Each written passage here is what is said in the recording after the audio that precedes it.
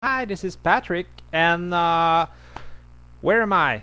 I'm in my house, but I'm gonna tell you about uh, where am I in the development of Webcam Studio. So the latest version is 0.16. It got out uh, a few days ago. I'm currently working on the next version. New features are coming in. Uh, the biggest new feature that uh, that I just implemented today is uh, chroma keying uh, with green or blue it's up to you.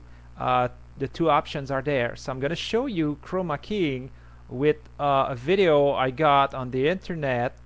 Uh, it's about um, McCain. Actually I don't know the guy. I think I'm Canadian so actually I, I don't know what that guy does in uh, in the real world but there was a chroma keying ask for that video where the background is green. So let's start it without the chroma